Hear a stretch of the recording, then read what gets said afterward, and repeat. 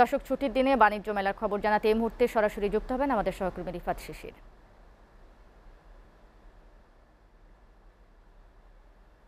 শিশির, সাপ্তাহিক ছুটি বাণিজ্য মেলায় আসলে বেচা কেনা কেমন দেখতে পাচ্ছেন? বা আসলে আগত যারা রয়েছে, তারা কিছু বলছেন কিনা?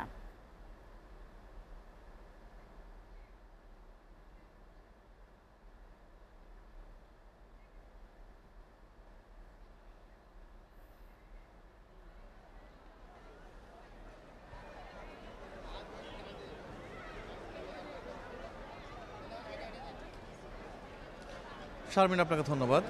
আপনি জানেন যে গত মাসের একুশ তারিখে এই মেলা শুরু হয়েছে দ্বাদশ জাতীয় সংসদ নির্বাচনের কারণে কিছুটা পিছিয়ে। তো এ কারণে কিন্তু এই মাসে এখন মেলার শেষের দিকে এবং আজ মেলার ছুটির দিন হিসেবে শেষ ছুটির দিন। তো যে কারণে অসংখ্য দর্শনার্থী, ক্রেতা মেলায় এসেছে। এবং আজকে যেহেতু শেষ ছুটি এবং আর হাতে গোনা কয়েকটি দিন বাকি আছে, সে কারণে শুধু এই এই অঞ্চলের মানুষই নয় ঢাকার বাইরে থেকেও অনেক মানুষ অনেক ক্রেতা, অনেক দর্শনার্থী কিন্তু মেলা এসেছে। আমি যদি চিত্রটা একটু দেখানোর চেষ্টা করি, তাহলেই আরও পরিষ্কার হবে। চারপাশেই কিন্তু অনেক ক্রেতা রয়েছে, দর্শনার্থী রয়েছে। তারা কিন্তু শুধু রূপগঞ্জ বা এই মেলা কেন্দ্রিক আশপাশের থেকে আসেনি, তারা কিন্তু ঢাকা, ঢাকার বাইরে এবং দেশের বিভিন্ন জেলা থেকেও কিন্তু তারা এসেছে। এবং আজকে একটা জিনিস লক্ষণীয় বিষয় যেটা হয়েছে যে যেহেতু শেষের দিকে সে কারণে কিন্তু মেলার বিভিন্ন পণ্যে অনেক অফার রয়েছে। জামা কাপড় থেকে শুরু করে ইলেকট্রনিক্স পণ্য থেকে শুরু করে সাংসারিক বিভিন্ন জিনিসপত্র থেকে শুরু করে প্রতিটা জিনিসে কিন্তু অফার রয়েছে। আর যে কারণে কিন্তু দেখা যায় যে ছুটির দিনে পরিবারকে নিয়ে অনেকেই এসেছেন এবং বিশেষ করে গৃহবধূরা তাদের বিভিন্ন সাংসারিক জিনিস কিন্তু তারা কিনছেন বিভিন্ন অফারে। এবং এই অফারের জন্য বিভিন্ন খোঁজ করছেন যে কোন কোন প্যাভিলিয়নে কত পার্সেন্ট পর্যন্ত আসলে এই অফারটি দেওয়া হচ্ছে।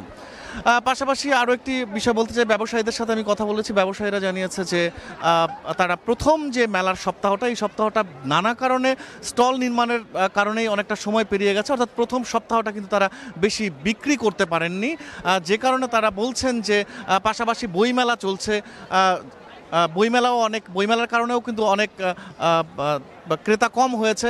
তারা চাচ্ছেন যে আরও বেশ কয়েকটা দিন যদি মেলা বৃদ্ধি করা হয়, তাহলে তাদের হয়তোবা এই ক্ষতিটা পুষিয়ে নিতে পারবেন তারা, কারণ তারা চাচ্ছেন যে আসলে তারা অন্তত যেহেতু এখানে স্টল ভাড়াটা অনেক দিতে হয়েছে, খরচের পরিমাণটাও বেশি সে কারণে সে কারণে কিন্তু তারা চাচ্ছে যে মেলাটা যেন আরও কিছুদিন বাড়ানো হয়। এছাড়া আমি আরও একটু বলতে চাই যে বেশ কিছু যেমন শীতের পোশাকের কথা যদি বলি, গরমের কারণে কিন্তু শীতের পোশাকের যে স্টলগুলো ছিল তারা কিন্তু অনেকটা ক্ষতির সম্মুখীন হয়েছে। ব্লেজার থেকে শুরু করে অন্যান্য শীতের যত পোশাক রয়েছে, এই ধরনের বিক্রেতারা কিন্তু আসলে অনেক ক্ষতির সম্মুখীন হয়েছে।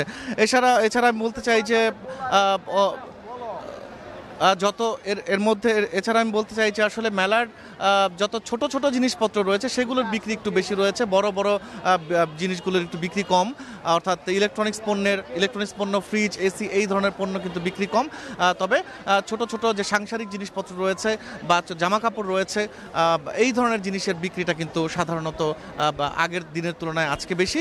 তো বিক্রেতারা চাচ্ছেন যে আরও কয়েকটা সময় দিন যদি বাড়িয়ে দেওয়া হয়, তাহলে তারা আসলে এই ক্ষতিটা পুষিয়ে নিয়ে ব্যবসা শেষ করে বাড়ি ফিরতে পারবেন। শারমিন। শিশির আপনাকে ধন্যবাদ।